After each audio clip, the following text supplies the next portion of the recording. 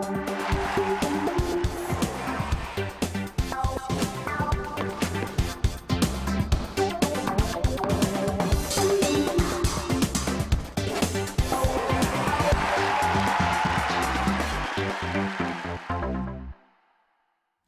tisztelettel köszöntöm a Szombathelyi Televízió minden kedves nézőjét. Egy hét után ismét jelentkezik hétfesti rendszerességgel Aréna című sportműsorunk, amelyben a mai este folyamán foglalkozunk a haladás VSR röplabda szakosztályával, hiszen a lányok, akik az elmúlt szezonban meghosszabbították extra ligás tagságukat, már javában készülnek az új szezonra. Aztán bepillantást nyerhetünk a Falkó felkészülésébe, hiszen ez is elrajtolt nyakunkon az új szezon.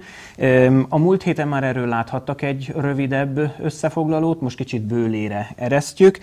Meghallgathatják például az anyagban majd Benke Szilárdot is, aki ugyebár újonnan érkezett a Falkó együtteséhez, de itt lesz körünkben Grácer György Gyuribá is, aki részletesen beszámol a programról, és mindarról, hogy mi várható majd az új idényben. Aztán egy kis etüddel jelentkezünk a Csákvár haladás mérkőzésről. Sajnos gól összefoglalót nem tudunk mutatni, mert Csákvárról még nem érkezett meg az anyag. Bízunk benne, hogy holnapra ideér, de itt lesz körünkben Eszlátyi István, akivel elemezzük ezt az elmúlt találkozót, illetve egy kicsit a jövőbe tekintünk, hova tovább magát az embert is, tehát Istvánt is megismerhetik, hiszen új játékos a haladás körében. Most pedig akkor rajtoljon el a mai műsor, megadom a kezdő hangot és a sípszót, és ezennel haladás röplabdával nyitunk. Nagy tisztelettel és szeretettel köszöntöm körünkben a haladás VSE Hungást haladás támadás VSE újdonsült vezetőedzőit lesz Mátét, és egy újdonsült játékosát, a 41-szeres Vacsi Evelint, aki, ha jól tudom, Kaposvárról tette át székhelyét Szombathelyre. Köszönöm szépen, hogy elfogadtátok a meghívásunkat. Járjuk körbe akkor, hogy mi újság a röpisek házatáján. Egy kicsit zaklatott hangvételű volt a, a, az előző szezonnak a vége, hiszen sok bizonytalanság tarkította a röpiseknek a házatáját, de aztán minden kérdőjel nagyjából mostanra kiegyenesedett. Itt van körünkben Máté, aki Békés Csabáról érkezett, két évet húztál le ott, mint másodedző, rengeteg Igen. tapasztalatot gyűjtöttél, de inkább átadom neked a szót, és te hozott szombathelyen. Köszönöm szépen, üdvözlöm a nézőket, és hát igen, azért zaklatott volt a haladásnak a, az előző szezon vége és befejezése, de egy új fejezetet nyitottunk most ebbe a szezonba, elkezdtük a felkészülést ugye hosszas előkészítő munka után egy héttel ezelőtt, és úgy gondolom, hogy minden körülmény és minden feltétel adott ahhoz, hogy egy nagyszerű és jó munkát végezzünk el ebbe a szezonban. Ugye a Békés Csaba azért előbbre jár, jóval előbbre jár a Halinál, te mégis úgy döntöttél, hogy Békésből átteszed a székhelyedet Vas megyébe. Mi volt az, ami ebben legfőképpen szerepet játszott? Ugye én fiatal edzőnek számítok, ugye, magam 31 évével, de úgy gondoltam mégis, hogy, hogy eljött az idő arra, hogy megmérettessem magamat vezetőedzőként is, és dr. Musi Péter, ugye a szakosztály vezetője, ő felajánlotta nekem ezt a lehetőséget, amire én örömmel mondtam igent, tekintve, hogy mint azt ugye említettem az előbb is, hogy gyakorlatilag minden körülmény és minden feltétel adott ahhoz, hogy, hogy kiteljesedhessen az ember, és a saját elképzeléseit bele tudja tenni a, a munkába. És ugye a játékos keret is adott ehhez, amihez örülök, hogy például Vacsi Evelin is tudott csatlakozni, és, és úgy gondolom, hogy együtt egy nagyszerű szezon fogunk futni idén. Vacsi Evelin neve nagyon-nagyon jól cseng a magyar női röplabda sportákban. Említettem, hogy 41-szeres válogatott vagy, tehát egy igazi ikon, egy igazi élő legenda már talán nevezhetjük így. Nagyon nagy, fo- nagyon nagy fogásnak tűnsz, szerintem valóban így is van ez. Miért tetted át székhelyedet Kaposváról szombathelyre? Tulajdonképpen én az előző szezont, ugye, amit említetted, Kaposváron töltöttem, és alá is írtam nyáron egy szerződést a Kaposvárral, majd később lett egy olyan lehetőség júliusban, hogy szombathelyre kölcsönadna a Kaposvár, nyilván ehhez ugye az én beleegyezésem is kell, valamint ugye a haladás a klubé, és úgy gondoltam, hogy a feltételek adottak lesznek, ugye utána konzultáltam Mátéval is, hogy mi a helyzet tulajdonképpen, hogy mit szeretne, hogy szeretné, és ez nekem abszolút megfelelt, és úgy gondoltam, hogy itt több játék lehetőséghez jutok, és fontos nekem nyilván, hogy pályán legyek, és tulajdonképpen ez volt a fő momentum azért, amiért átettem a székhelyemet én is. milyen körülmények fogadtak benneteket, illetve milyen a játékos állomány, milyenek a játékosok, milyen a játékosokkal való közös munka? Hát ugye még az első hét ez az összeszokásnak a, a hete volt, egy picit ugye megismerni azt a munkamódszert, amit én szeretnék majd ebbe az évbe véghez vinni, és ezt megmutatni, vagy megismertetni a csapattal. Azt gondolom, hogy a lányok erre nagyon bevőek voltak, és, és jól fogadták az elejétől kezdve ezt a, ezt a fajta stílust, úgyhogy innen már csak keményebben fogunk dolgozni, az biztos. É, gyakorlatilag ugye az első hét az, az még főleg ugye kondicionális rész volt, és egy picit már ugye azért labdáztunk is, de még inkább csak ugye az alapérintéseket ismételtük ugye sokszor. Innentől kezdve már azért egy picit a, a, a taktikai és egyéb technikai elemek is már jobban hangsúlyt fognak kapni. Evelyn, milyen a közös munka Mátéba? Abszolút jó. Szerintem a lányok nevében is beszélhetek, hogyha azt mondom, hogy meg vagyunk abszolút elégedve azzal, amit, amit eddig csináltunk, és amit, amit csinálunk. Jók az edzések, kemények az edzések, de én úgy gondolom, hogy ez így jó, és ennek így is kell lennie, mert akkor lesz eredmény. És abszolút a többi lány is, akik itt voltak tavaly, a külföldiekre gondolok, valamint a fiatalokra is, hogy abszolút vevőek rá, és, és ők is akarnak dolgozni, úgyhogy örülök, hogy az egész közösség így együtt van. Nagyon karcos volt az előző szezon vége, tehát nagyon meg kellett izzadnunk azért, hogy extraligásak maradhassanak a lányok. Sokat kellett szurkolni érte, de sikerült. Mik a célkitűzések az idei szezonra nézve? Mi hozható ki ebből a keretből? Mennyivel lehet ebből többet esetlegesen kihozni, mint a tavalyból? Én azt gondolom, hogy többet ki lehet hozni. Én nem szeretek előzetesen ígérgetni és, és meghatározni azt, hogy, hogy mi most a hatodik, ötödik helyen fogunk végezni, vagy esetleg előrébb. Én ezt, én ezt nem gondolom, hogy reális lenne, főleg így a, a szezon előtti ilyen tippelgetésekbe belemenni.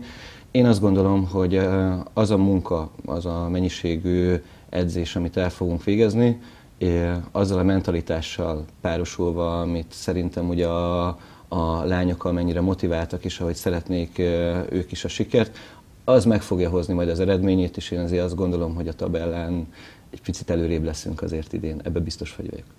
Ha jól emlékszem, akkor a Kaposvárral tavaly egészen szoros találkozókat vívtak a lányok, de ez volt az az ellenfél, amelyel szemben mindig nüanszok döntöttek, és az mindig a Kaposvár javára. Ide-haza talán nem, de idegenben emlékszem, hogy volt egy olyan találkozó, amit hozhattunk volna mi is, de a Kaposvár hozott, mert fejben jobban fölnőtt ahhoz a, vagy felnőtt ahhoz a, ahhoz a találkozóhoz. Te akkor még Kaposvári színekben hogy láttad a szombathelyt kívülről, most pedig belülről? Ugye ott az történt, hogy a, a szombathelyi meccset ugye a szombathely nyerte, és az otthonit pedig a Kaposvár. És hogy te is említetted, Kaposváron nyilván a hazai környezet miatt is, de mi jobban ott voltunk, jobban koncentráltunk akkor. Szombathelyen viszont ez a szombathelyről volt elmondható, hogy sokkal nagyobb elánnal küzdöttek. Én úgy éreztem akkor, ellenfélként is úgy éreztem, hogy hogy ezek a lányok akarnak, és azt, hogy együtt vannak, és, és hogy tényleg meg akarják verni nagyon a kaposvárt. Úgyhogy nekem abszolút szimpatikus volt, amikor jöttem, hogy ezekkel a játékosokkal én majd együtt játszhatok, látva azt, hogy ők hogy tudnak küzdeni, és hogy tudnak harcolni. Érezhető-e bármiféle erő elmozdulás az Extraligán belül? Mindig megvannak a top csapatok, most ezek között, vagy a középcsapatok között érzékelhető-e valami változás? Van-e olyan, aki most kilép az árnyékból, és most valami nagyot akar dobbantani? Vannak-e olyan klubok, csapatok, amelyek kicsit leépülőben vannak, stagnálnak? Mit lehet elmondani az élvonalról? Mit várhatunk az Extraligától a 2019-20-as szezonban? Én azt gondolom, hogy az idei év az, az talán eddig minden idők legerősebb szezonja lesz. Ugye nagyon sok neves játékos, külföldi játékos dönt már amellett, hogy, hogy Magyarországon játszon. A, hála a magyar röplabda fejlődésének, a női röplabda fejlődésének és előretörésének. Most már igenis célpont lett Magyarország ugye a, a különböző válogatott játékosoknak, és azt gondolom, hogy ez jót tesz a, a sportágnak, jót tesz a, a magyar fiataloknak is, hiszen ugye ők példaképként is uh, tudnak a, a fiatal játékosok előtt állni. Úgyhogy erőelmozdulás, Hát még így augusztus végén erről nehéz beszélni. Nyilván fogadkozik mindenki. Nyíregyháza Békés Csaba szinte új csapatot épít, Vasas gyakorlatilag egybe tartotta a magját, Kaposvár szintén új csapatot épít. Érdekes szezon lesz, az biztos.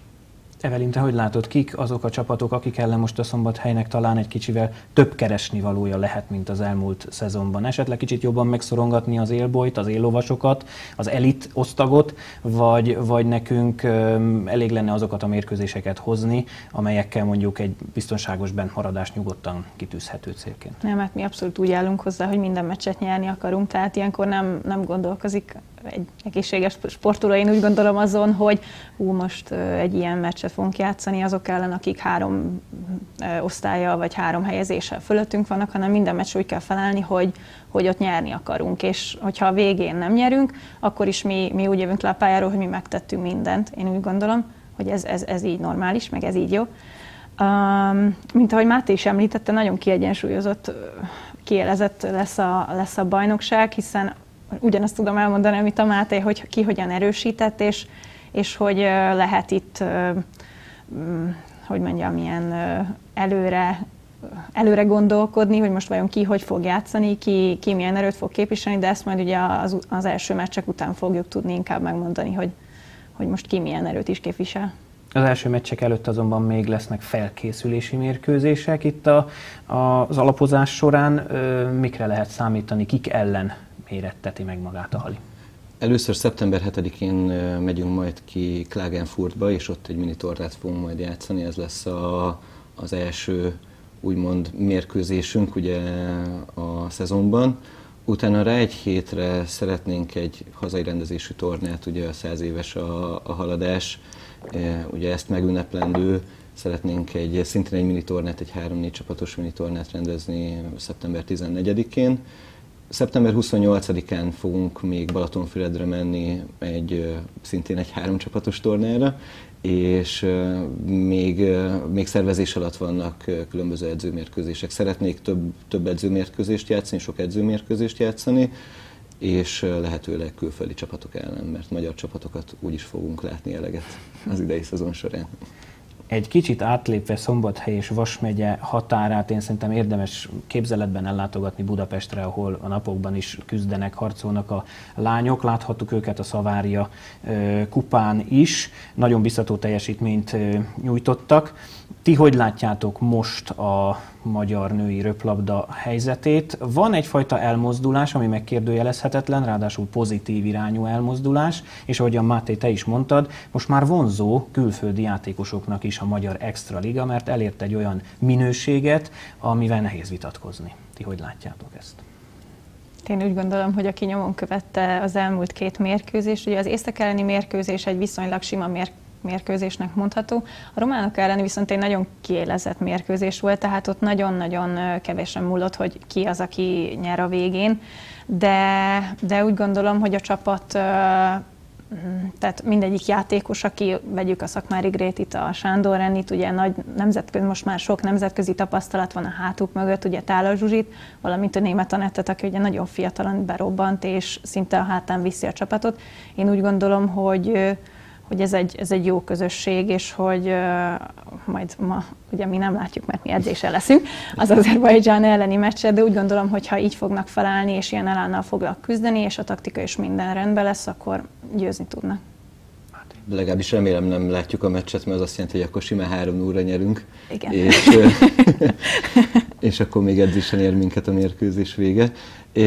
Én is ugyanígy gondolom, hogy tényleg van egy megkérdőjelezhetetlen előre mozdulás, és a, az észtek ellen ugye az várható is, várható is volt, hogy, hogy egy sima győzelmet aratunk. Ugye az észtek újoncok, Nyilván mi ugye rendezőként egy picit másfajta nyomás van most a, a mi játékosainkon, de azt gondolom, hogy, hogy Evelyn is említette, hogy ezek a játékosok már mindenki fel van vértezve megfelelő nemzetközi rutinnal.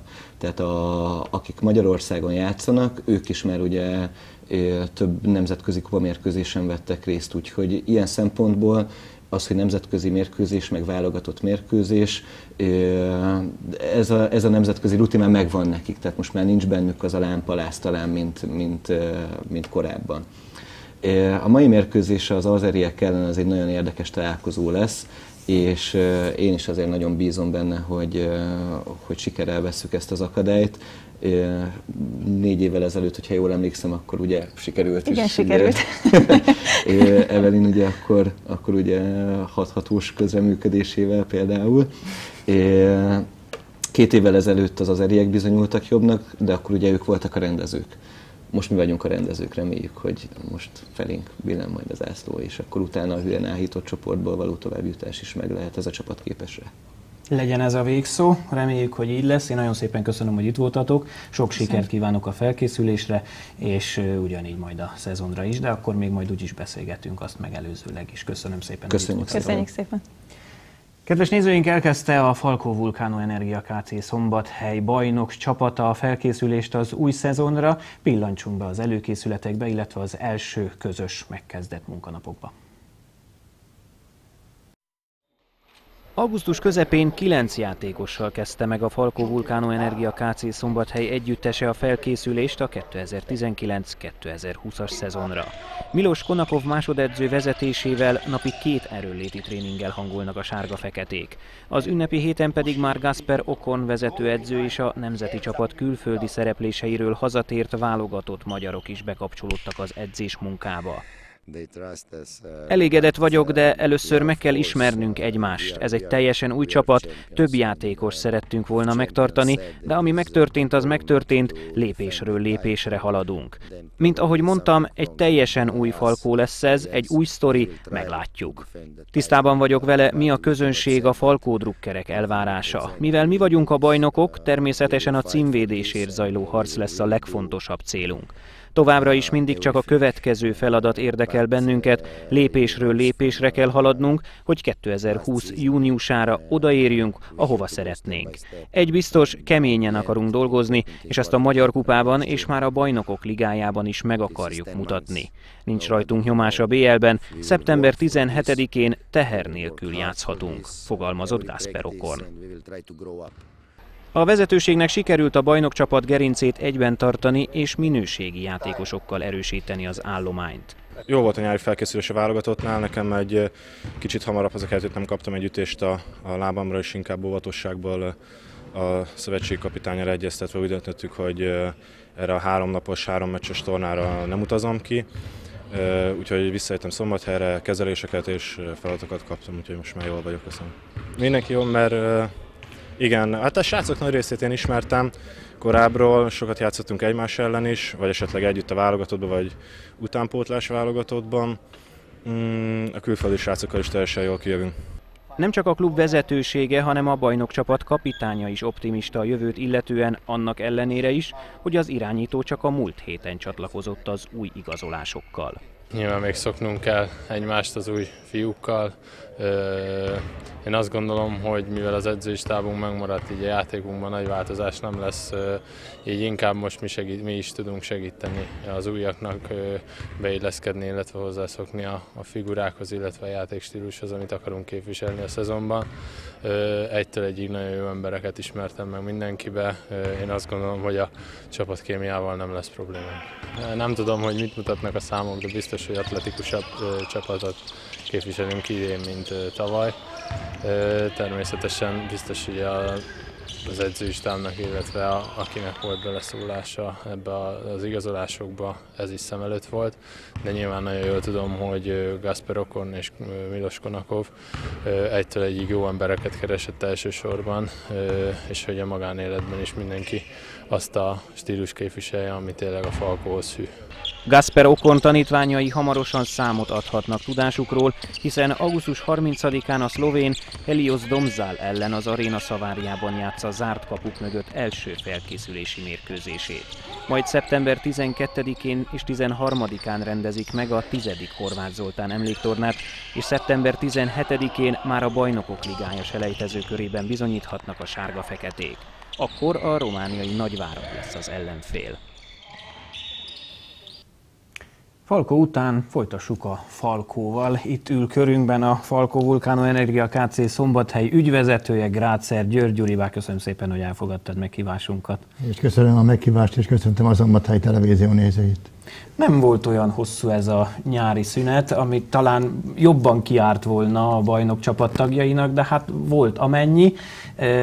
Eléggé melósan telt ez a vezetőség számára, azt gondolom, hiszen gyakorlatilag itt egy komplett névsorral rendelkezünk, olyan Lajstrommal névsorral, ami, ami azt sugalmazza, hogy itt bizony Gasperokornak hát új csapatot kell építenie. Hogy van ez, Gyuribán?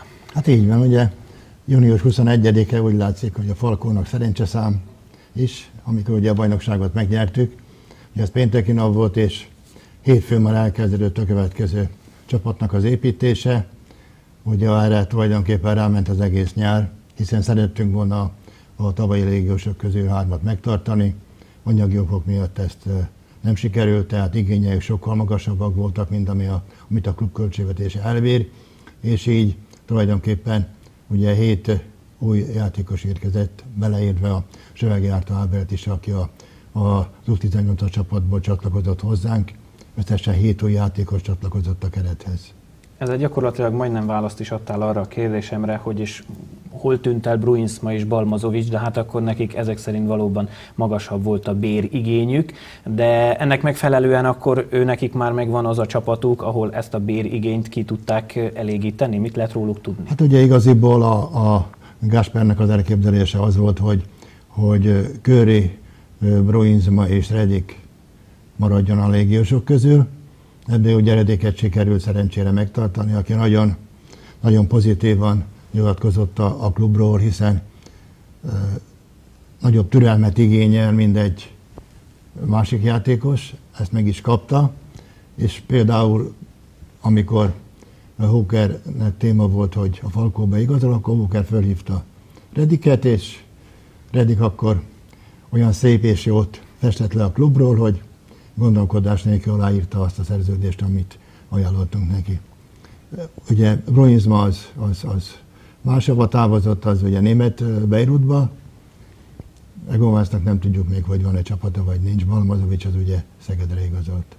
Govenszre is rá akartam kérdezni, mert ő is nagyon eltűnt, nem lehetett róla nagyon hallani semmit, pedig ő magyar állampolgársággal is rendelkezik, ha jól tudom. Jó, ez most ebben az esetben nem sok mindent jelent, csak azért kérdezem, mert éppen ma, amikor nézegettem a, a játékosok listáját, ott hat ember volt, köztük Redich, Benedek, Zozó és a Verasztó Körmendi, és még egy, de most azt rittig elfelejtettem, de hogy eltűnt Govens. Őról amit lehetett tudni, vagy mit hát lehet? Ugye, ugye nem, nem tudni, hogy hol folytatja, e, tulajdonképpen az ügynöke olyan igényekkel lépett elő, amit mi nem tudtunk teljesíteni. És így szurkolunk neki, hogy e, találjon egy csapatot, ahol ezeket az igényeket kielégítik.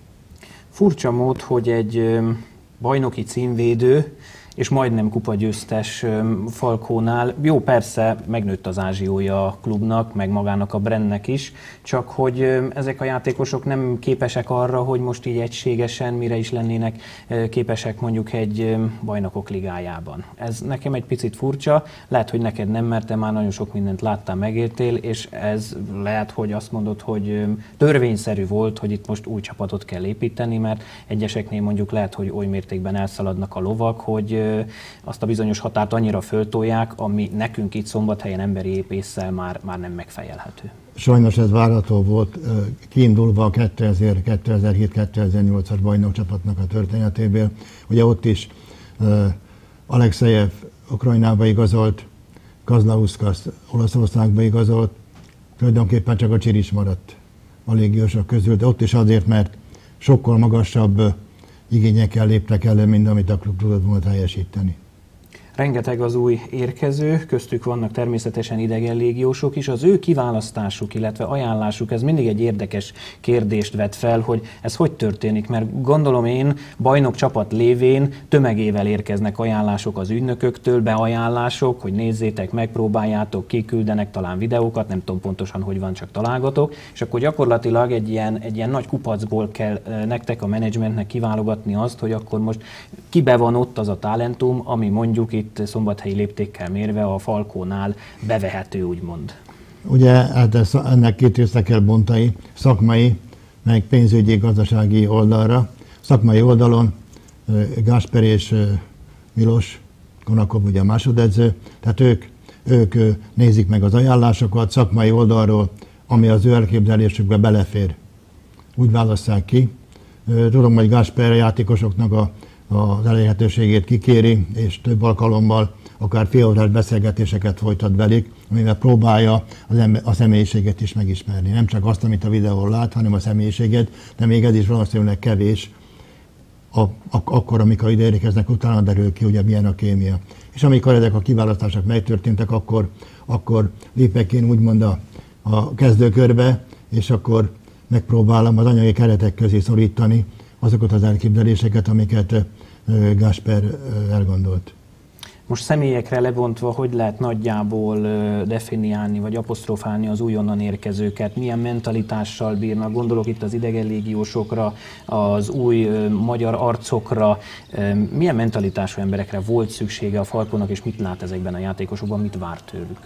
Én úgy gondolom, hogy, hogy sikerült egy fiatal és rutinos és, néha, és egy, egy 30 éves játékosunkban, ugye, aki a négyes posztra érkezett, ő az, aki úgymond az idősebb generációt képviseli, tehát 30 éves. Az összes többi, ugye a Redik csak 27 például, az összes többi 23-24 éves. De ezek a 23-24 éves játékosaink is már kellő rutinnal rendelkeznek, hiszen már Benedeklik is már a harmadik bajnoki döntőt játszották, plusz két, bajnoki, két magyar kupa döntőt játszottak, a magyar válogatottban rendszeresen sok, sok percet tudnak játszani, tehát akik jöttek magyarra válogatottak is, ugye ők, is, ők is azért már sokat játszottak, mondjuk a Filipovic egy kicsit kevesebbet, ő neki most kell majd bizonyítani azt, hogy sok percre van, legyen lehetősége a magyar válogatottba, de Benke Szilárdra gondolva például három évvel ezelőtt, amikor Kaposváról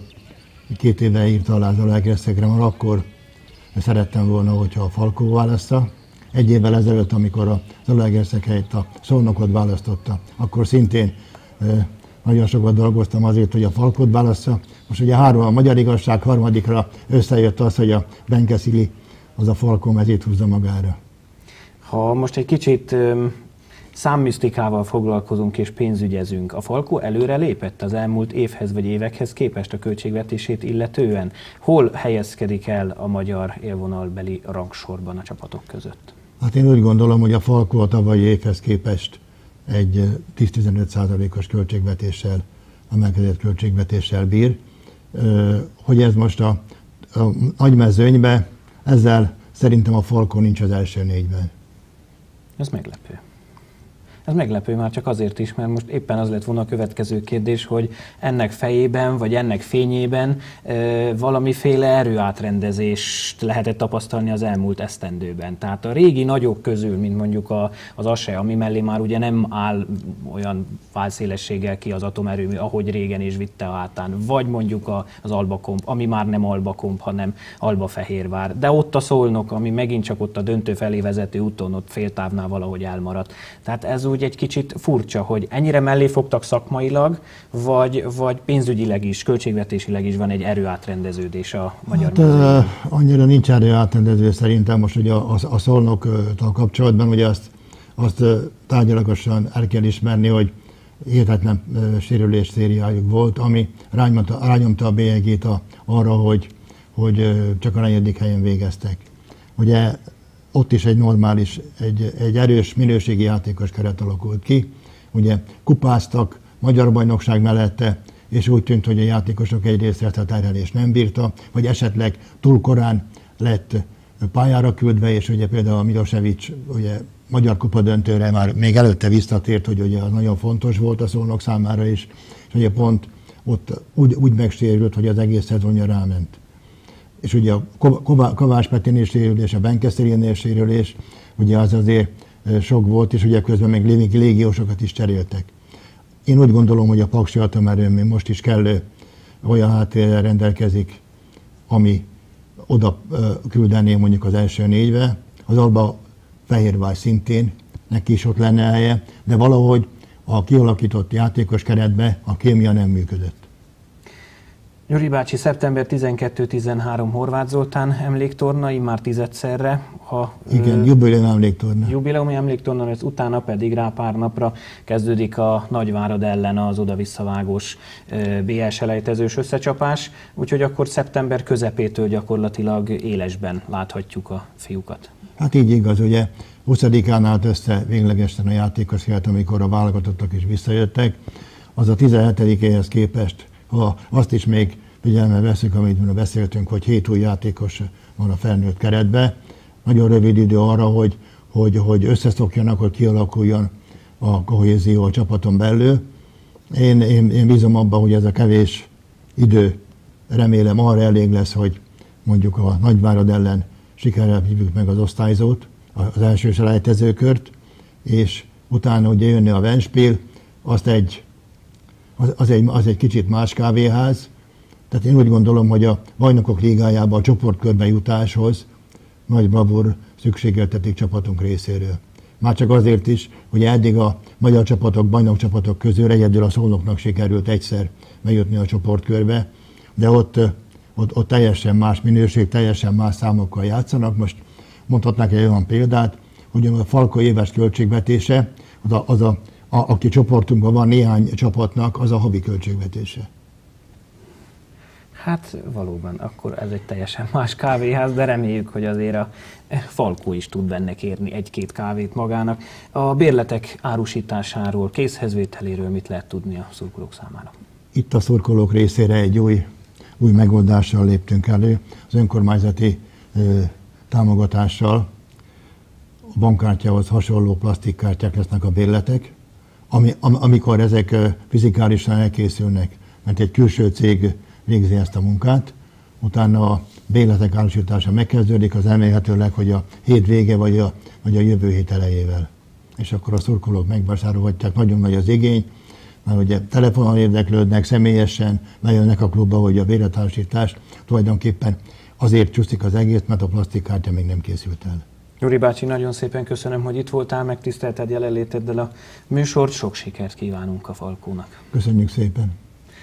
Kedves nézőink, a Merkantil Bank Liga MB2-es labdarúgó pontvadászat 5. fordulójában Csákvárra látogattak a mieink, azaz a szombathelyi zöldfehérek a hali. Pontot szerezni ezúttal nem sikerült, a gól összefoglalót sem tudunk most mutatni, de Vizi László kollégánk elzarándokolt a találkozóra, megtekintette a helyszínen a mérkőzés, és ha már ott volt, készített pár felvételt.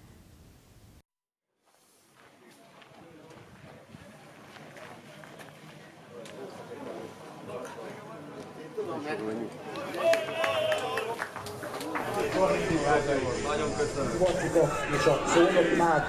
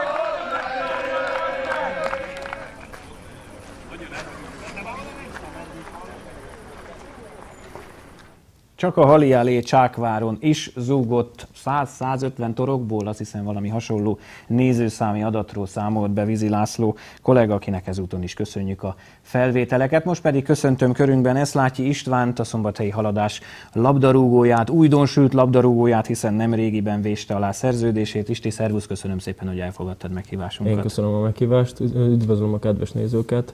Hát igen, igen, eléggé újnak számítok, ugye a felkészülés elejét azt inkább, inkább úgy mondom, hogy a felét azt kihagytam. Ugye a harmadik héten tudtunk megállapodást kötni a haladással.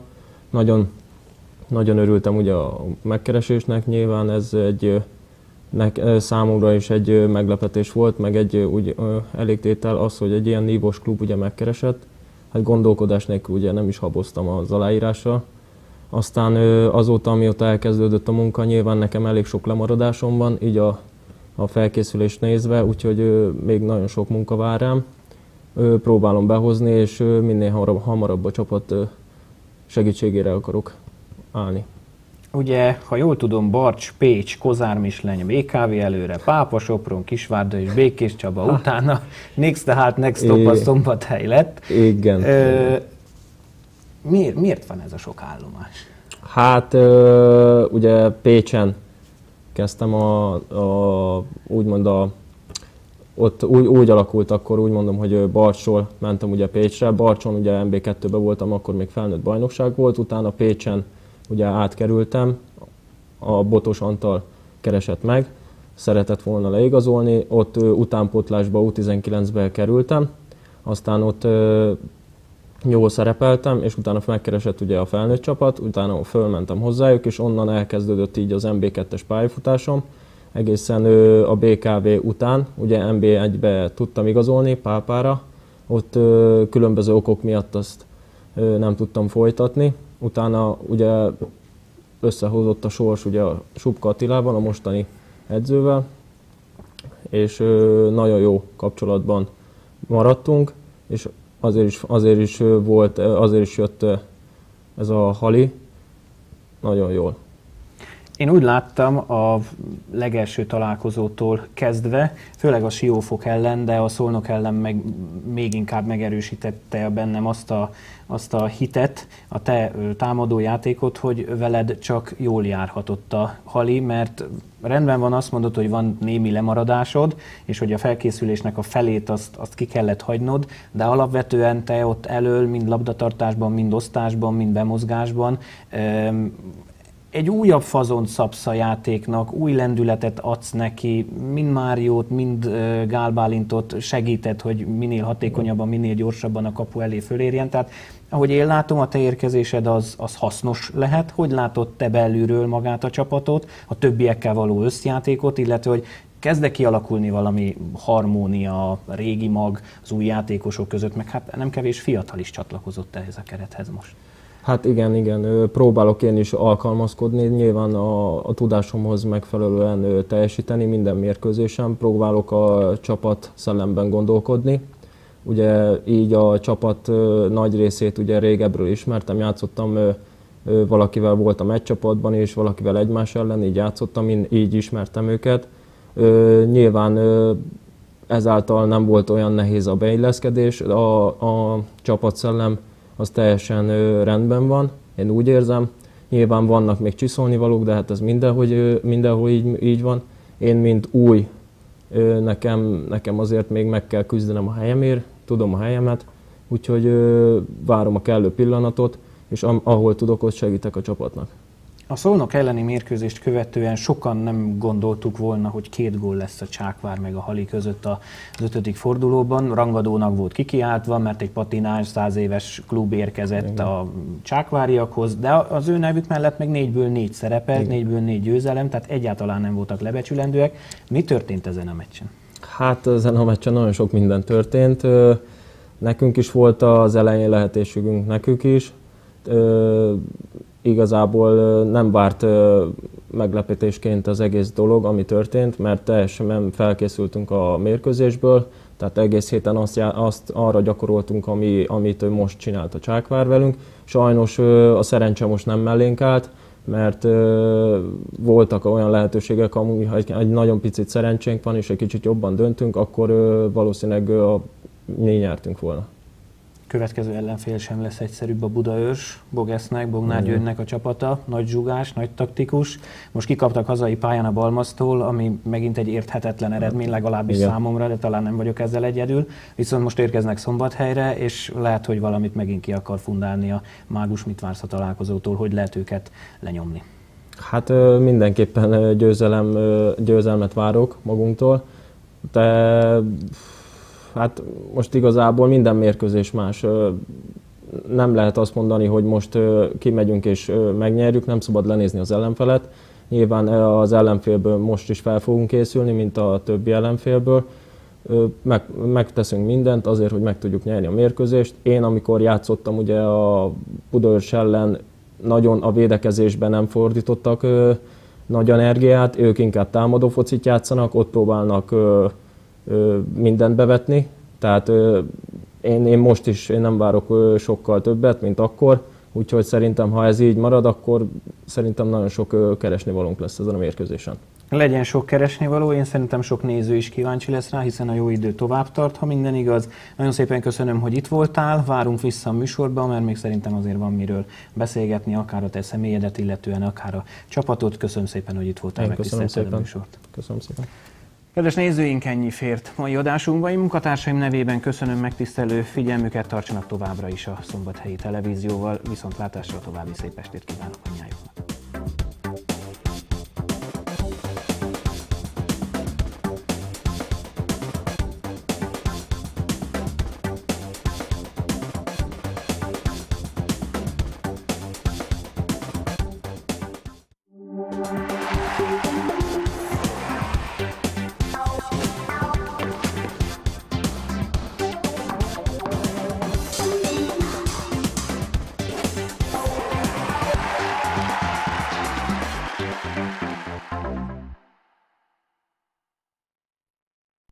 Műsorvezetőnket öltöztette a Stil Fashion Kft.